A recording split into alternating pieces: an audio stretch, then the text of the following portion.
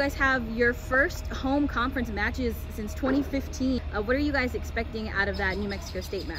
Firstly, um, I'd like to say that me and the team are really appreciative that we are allowed to use the indoor courts. Um, it's going to be a very nice opportunity for us, and I'm hoping that the guys after me get to keep um, keep doing that. I'm pretty buzzed that we finally get to host um, some conference matches. It's my first time since I've been here playing New Mexico indoors. Again, I don't think we've ever played them indoors since I've been here, so that's going to be a new challenge for us.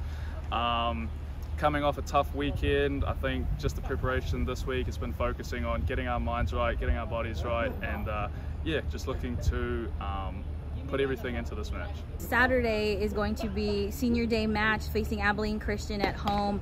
Um, especially for you, someone who's been with this program for so long, what does it mean to get to this point? Uh, yeah, it's pretty crazy. Five years. Um, I've been a part of a lot of teams, um, two different coaches. I'm really excited. It's going to be a pretty emotional day.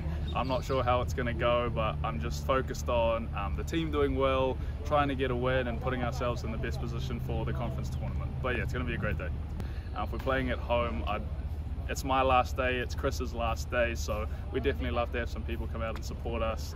I think this team especially, um, we're exciting to watch. We're, um, we bring a lot of, I think, positive things to the Valley. Um, so yeah, if you can, come out, support us, and peace up.